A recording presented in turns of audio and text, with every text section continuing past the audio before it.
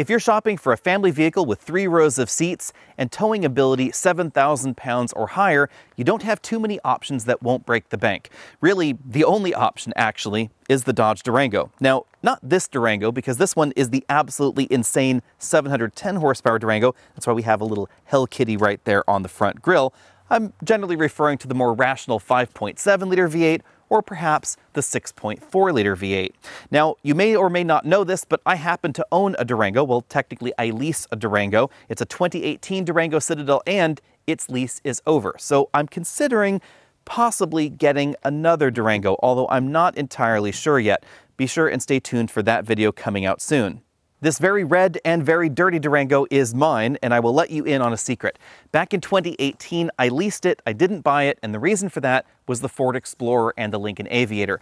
I knew that Ford was going to come out with that model very, very soon, and a lot of rumors were swirling that they were going to target the Durango very directly when it came to towing ability and towing prowess, basically.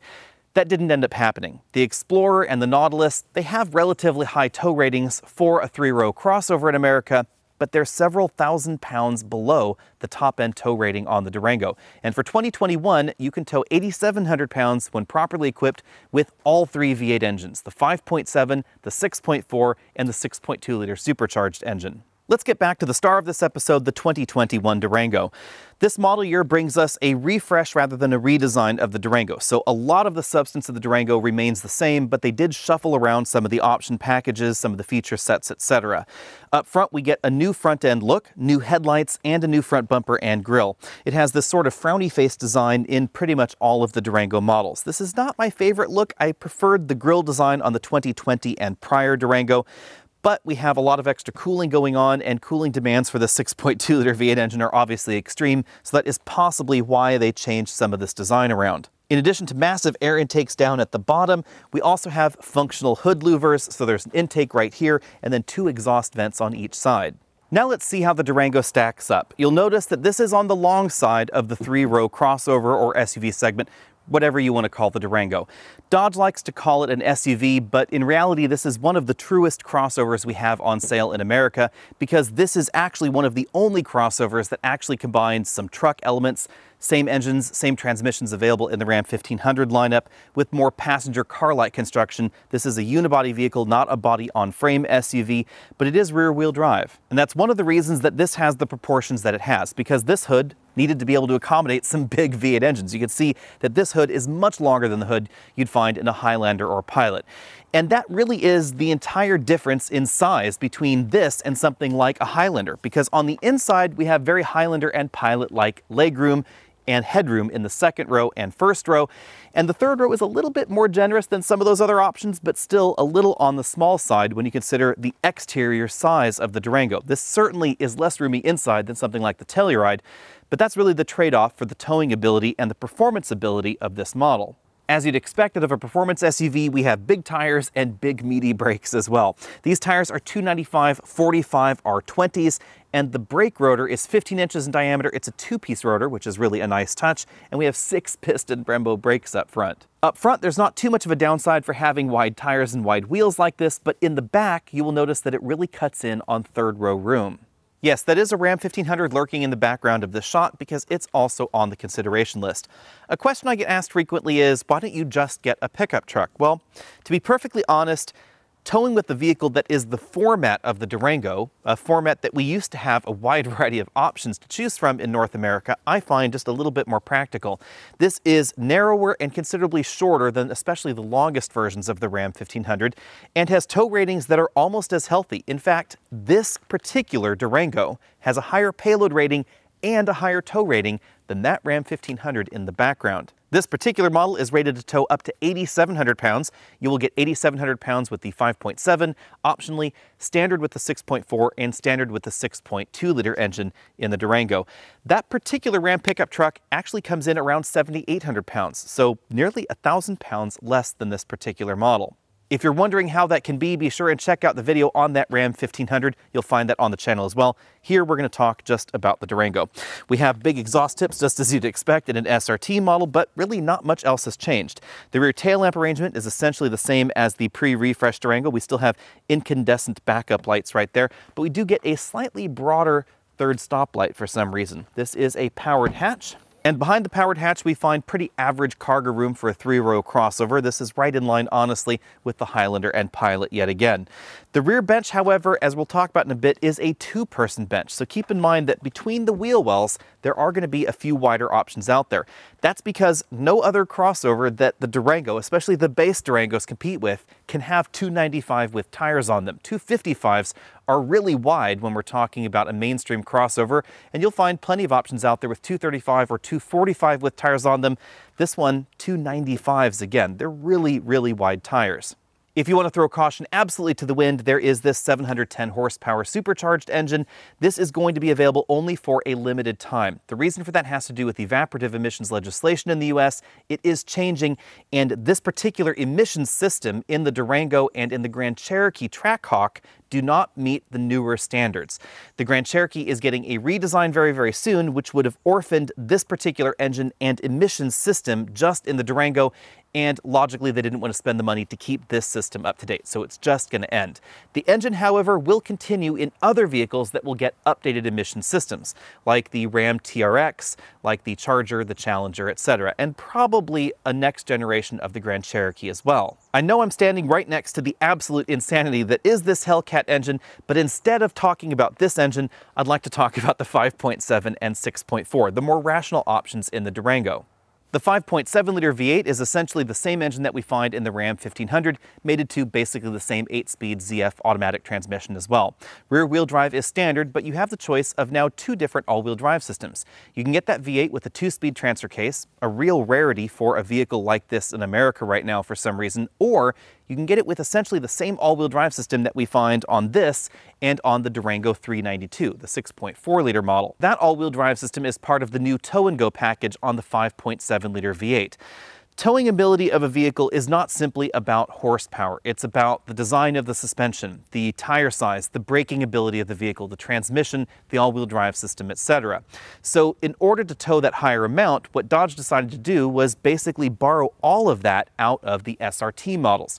So if you get the tow and go package, we have the same tire size that we find on the SRT models. We have the same brakes up front that you find standard on the SRT models, and we get a slight tweak to the rear suspension, just like we find on SRT models. They've reinforced the attachment points for the suspension on the rear portion of the body. This is a unibody vehicle, not a body-on-frame vehicle. And then we get that tweaked all-wheel drive system that can send power electronically front and rear as it's needed. Everything put together, the 3.6-liter V6 engine is good to tow about 6,000 pounds. The 5.7 over 7,000 pounds or 8,700 pounds if you choose that option. And then the two SRT models come in at 8,700 pounds standard. Before we move on, let's talk about towing just a little bit more. Interestingly enough, this Ram 1500 is lighter than this Durango right here. So when you have 8,700 pounds connected to the Durango, because of its suspension design, its lower center of gravity, and honestly, its curb weight and its general size, it's actually pushed around a little bit less than something like a Ram 1500. And it has a whole lot more power if we're talking about the 6.4 and the 6.2 liter engine. Some truck people that I talk to say, yeah, but the rear end ratio on the Durango is 3.7 and you can get a 392 axle on the Ram 1500. That is definitely true, but we have smaller diameter wheels and tires on the Durango than we have on the Ram 1500. And that actually means an increased torque multiplication effect. So the effective ratio on this is actually higher than on that. It would be as if you had a Ram 1500 with a 405 rear end. And since towing is not simply about power figures, torque figures, suspension design, etc., it's also about braking, we actually have bigger, beefier brakes on this as well. Another common thing I hear is, well, maybe it can do that on level ground with the air conditioning off, but it certainly won't do that in the real world. Well, the Durango is tested basically on the same testing programs that they test the Ram 1500 and other pickup trucks out there. It's an SAE test procedure. Temperatures are over 100 degrees. They're going up a 12% grade. 6% is the maximum allowed on an interstate highway in the US and the vehicle has to be able to do that in reverse. Believe me, when going up a 12% grade with 8,700 pounds on the back, you are definitely going to want to be in the Durango with at least the 6.4 liter V8 engine because it has 75 pound-feet of torque approximately over that Ram 1500 with better gearing as well. One of the interesting things about owning a vehicle for a few years is that sometimes your opinion changes on certain things, and the seats are definitely one of those things. I wasn't the biggest fan of the Durango seats when I first bought it. The seat bottom cushion can feel a little bit firm and perhaps a little bit overstuffed, I guess you might say. It's sort of like Little Miss Muffet is sitting on a tuffet. But on longer road trips, I discovered that these seats are actually more comfortable than I thought. I recently had the opportunity to drive a Volvo XC90 for about five hours straight, and then the next day I ended up using my Durango because my legs were falling asleep in that XC90. I found the Durango seats to actually be a little bit more comfortable. They're also more adjustable than average in this segment, with four-way adjustable lumbar support, power tilt telescopic steering column as well in this particular model, and the passenger seat has the exact same range of motion as the driver's seat. Now let's check out the back seats. With the front seat comfortably adjusted for me at six feet tall, I have about five to six inches of legroom left. Again, remember that this has about the same size interior as a Highlander or a Pilot. So if you're looking for something big on the outside and big on the inside, that isn't going to be the Durango. This is going to be big on the outside and a little bit smaller on the inside. You'll also notice this doesn't have as many seats as some of the competition. The Durango is either a six or a seven seat vehicle. Most of the trims you'll find out there on dealer lots seem to be six seats. So we have captain's chairs right here in the middle, and the third row is always a two passenger third row. The outboard seats have fold-down center armrests, and there is an available center console, but I would not get that option if I were you, because it does make getting back there into the third row a little bit more difficult, because the only way to get back there is to flip and fold the second row seats. These move in kind of an old school way, I guess you'd say. You cannot leave a child seat latched into place or even a booster seat latched into place and still get into the third row. Now, the second row seats also do not slide forward and backward. With the flip and fold design, getting back there into the third row is pretty easy as long as the front seat isn't all the way back in its tracks. And then let's uh, go ahead and check out the third row room here. These are pretty easy to fold back into position. We have a pretty decent amount of room, to be pretty honest. Even though these second row seats do not slide forward and backward, I have about an inch of legroom left. If I sit in what I would describe a more natural seating position, I have about an inch of headroom left, but if I try and put my head back here to the headrest, I do have to crane my head to one side in order to do that. Now again, this is a strict two-seat third row, but I have to say that these seats are probably a little bit more comfortable than most of the competition. And interestingly enough, they're also slightly bucket shaped. That's obviously made possible because this is not a 60-40 seat design, but we do have slight little bolsters there for the seat bottom cushion and the seat back cushion as well. The reality, of course, is that like most people that buy a three-row crossover, my third row spends most of its time folded. With the third row folded, we have seating for four or five and four or five passengers worth of luggage for sure as well. The spare tire is tucked up underneath the vehicle. This particular model does not have it. It is optional on some of the trims, and it can be either a compact spare tire on the SRT model like this one, or a full-size spare tire depending on the version that you're looking at. Although I find it hard to remember that the button for the power hatch is over here on the side, People that are a little bit shorter than I am or families with young children that might need to be able to close the hatch will appreciate this because it is much closer to them than having the button on the top of that hatch. As we look around the interior, you might want to take note of the options that this vehicle does not have.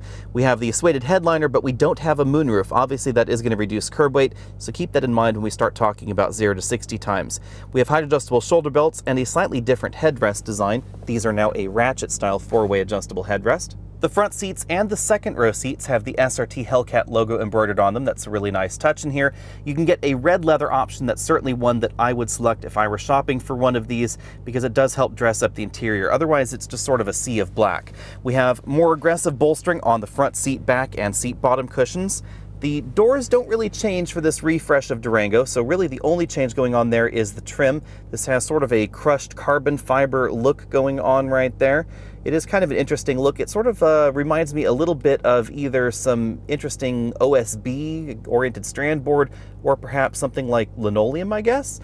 On the driver and front passenger doors, we have slightly different door handles than we had before. And then we have the big change for 2021, a new dashboard design. This is one of the reasons that I think the Durango isn't going to go anywhere for 2022. Why give us a dashboard design for just one model year? This one has the stitched dash components. That is an option. Again, more of that trim right there. Soft touch materials. This is the same Alcantara we find on the seats. We have a 12 volt power port. It's been relocated from the center console. and then a very similar bin style glove compartment. I was barely able to fit a 9 inch tablet computer in there. Some of the larger ones wouldn't fit. And then the big change in here is this just over 10 inch color touchscreen infotainment system.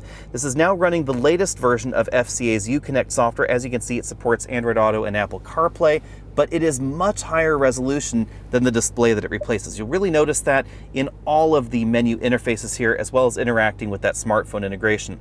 The software is definitely easy to use and has a nice quick feel to it. We have redesigned air vents there, engine start stop button. If you had the trailer brake controller, it would be down here in this area. We have redesigned buttons for the climate control system. Three zone climate control is available. This particular model has it. We have physical controls for the heated and ventilated seats. There's also a launch control button right there for easy access to launch control. It's a handy touch. An SRT button brings up the SRT pages. This is now much more responsive than the previous generation of the Uconnect software. In addition to managing all the million ways that you can adjust the drivetrain, we have an auto setup here so you can choose all of those various options for those drive modes. There's also a custom drive mode, a tow mode, etc. We can also pull up performance pages. This is pretty similar to the previous generation, but as you can see, much, much faster in loading. Extra gauges, we have a built-in dyno, G-force meter, vehicle dynamics there, etc. Unfortunately, the one thing that has not improved in resolution is the backup camera. It gets basically the same backup camera that we had in the previous generation. Back down the center console, we have four USB input ports, a storage area there for your knickknacks, Qi wireless charging mat, two large cup holders there, an area where you can store other small knickknacks because we don't have the two-speed transfer case in this model, basically the same shifter that we had before with the manual mode over there, center armrest for the driver and front passenger. It opens to reveal a moderately sized storage compartment. It is definitely smaller than some of those front wheel drive crossovers that you might want to cross shop with other versions of the Durango. And then we have a second level of storage if you open that up that way. Surprisingly, the instrument cluster was not refreshed for 2021. So this is still the same LCD that we found in the previous generation. It changes a little bit based on whether you get the SRT model or not. We have a physical ring around it for the SRT model, and then we get a digital tachometer rather than a digital speedometer. So in the regular Durango, this would be the tachometer over here. In the SRT, it's a speedometer, and then the tachometer moves there to the middle. The SRT steering wheel is probably one of my favorites currently available. It has a flat bottom, some squared off sides, it's really thickly rimmed, and it has small paddle shifters on the back. This is one thing that some people either like or dislike is the small paddle shifter design. They're really only about that big, and that's because the buttons for the infotainment system are still on the back of the wheel. So we have track up and down on this side, volume up and down on this side. If you go around, you can see that is the entire paddle right there. This particular model does not have the optional radar adaptive cruise control. There would be buttons over here for that if it did. The controls to that multifunction LCD are on this side. Then we have some dedicated phone and voice command buttons. The only other major change on the driver's side is the relocation of the seat memory switches. They're now integrated into the new door handle design. The Durango Hellcat is quite simply the most bonkers thing you can buy in America right now. 710 horsepower packaged into an SUV that is over 200 inches long and has three rows of seats, but goes 0 to 60 as fast as a Dodge Viper, faster than any current Mustang on sale right now, is absolutely insane.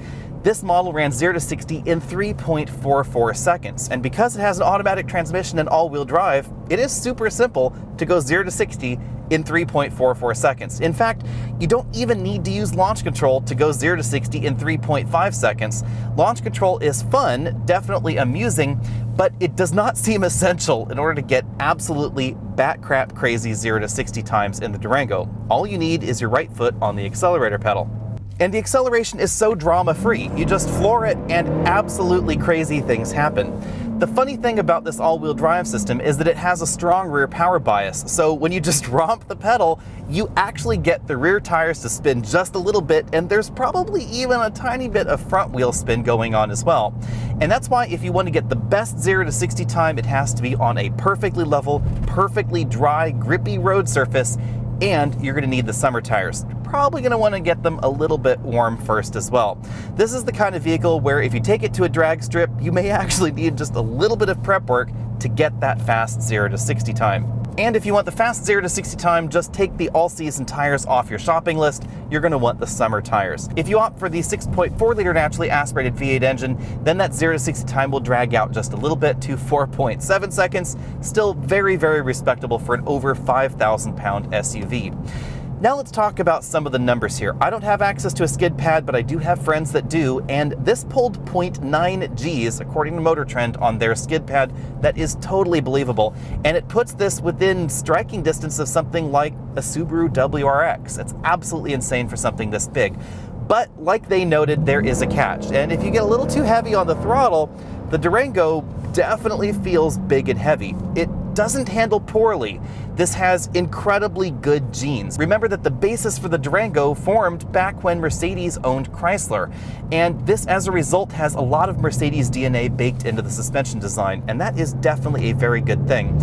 This handles the power incredibly well, but it weighs over 5,000 pounds. And the tires, although enormous and sticky, are not as enormous as you might think for a vehicle that has 710 horsepower. When we talk about power to braking ability, the 6.4 liter V8 seems just about right. It can stop in about 110 feet or so. Stopping distance in this model was also 110 feet. This has the up-level brake package, but your brakes are going to get a little warm if you keep doing that time after time after time because of the mass of the Durango. The Durango certainly doesn't feel like an uncontrollable brick, but this doesn't have the polish level that you'd find in a BMW X5M or a Mercedes-Benz GLE 63, something along those lines. But none of those have 710 horsepower. So that really puts the Durango in a very interesting niche uh, that is practically only occupied by other vehicles from the same manufacturer, like a Charger or a Challenger or a Grand Cherokee with a 6.2 liter supercharged engine, or I guess a pickup truck if you wanted something that has almost as much power but a bed in the back. Thanks to the adaptive suspension system that's available on all three V8 engines, interestingly enough, for 2021, rougher paved roads like this are absolutely no problem for the Durango. Clearly, if I put this in track mode, the suspension is going to get firmer, but it is still surprisingly livable. The Durango is not as harsh as some other SUVs out there, and that probably has something to do with the curb weight. Perhaps the most important thing to know about the Hellcat Durango, and this applies in really a lot of ways to the 6.4 liter Durango as well, is that the engine has so much power that it can certainly write checks that the tires on the vehicle simply can't cash. If there was some way to stuff wider tires on the Durango Hellcat, that is certainly something that I would recommend. Obviously, the grippiest tires that you can find as well. This vehicle is just so impossibly fast in the quarter mile. It is about as fast as a wide variety of high level performance vehicles in the quarter mile, 0 to 100 times, etc. And we're talking about, again, an over 200 inch long three row SUV. But when it comes to the corners, obviously something like the Viper or the Mustang in top level trims or the Camaro in top level trims or the Corvette, they're going to handle better than this. But they might not go as fast as this. Oh, I forgot fuel economy. Probably the least said about that, the better. I've been averaging 12.2 miles per gallon over this tank of gas, so uh, yeah, definitely not the most efficient Durango. I've said this before and I'll say it again. I love the fact that this engine exists in the Durango. Not in and of itself, not because I want a Hellcat Durango. I mean, obviously I do, but in a rational world I wouldn't. Um, but because it somehow makes the 6.4 liter V8 seem like the rational choice. And 475 horsepower in a family crossover being a rational choice is in itself something that is totally bonkers but I think it's almost enabled by this 6.2 liter V8 engine. So, you know, when you're sitting down at family dinner and your old maiden aunt is there saying, why did you really need a 6.4 liter V8 engine in your family crossover? Do your kids really need to get to soccer practice that much faster? You can say, well, it was, it was the rational option. I wanted the towing ability and, uh, you know, I, I didn't choose the 710 horsepower option. I was being the responsible parent that I am. It's now time to end the video because there's really no direct competition for the Durango Hellcat, and if you haven't already ordered one, you won't be able to buy one because Dodge has said that they're going to fulfill all the orders that were placed in the original time frame, but no additional people will be able to order themselves a Durango Hellcat. So the only way you'll be able to get your hands on one is on the used market with incredible markups.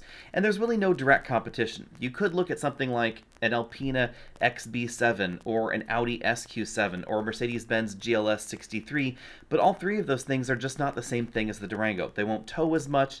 They're not quite as insane, quite as crazy as the Durango either. They're all a little bit better thought out, to be perfectly honest, definitely more refined.